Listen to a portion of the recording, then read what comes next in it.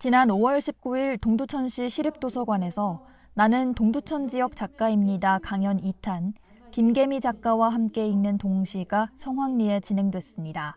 김계미 작가는 제1회 문학동네 동시문학상, 제1회 권태흥 문학상을 받은 시인으로 쉬는 시간에 똥 싸기 싫어, 오줌이 온다 등 다양한 동시집으로 유명합니다. 김계미 작가와 함께 읽는 동시 강연은 동시집 오줌이 온다를 교육생들과 함께 읽고 이야기를 나누는 북토크 형식으로 이루어졌는데요.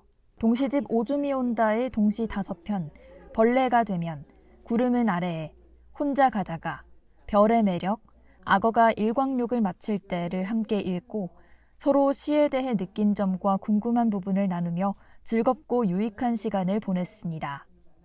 나는 동두천 지역 작가입니다. 강연 3탄으로는 오는 6월 16일 이강석 작가가 한 글자로 삶을 리셋하라라는 주제로 강연을 진행할 예정이니 많은 관심 부탁드립니다.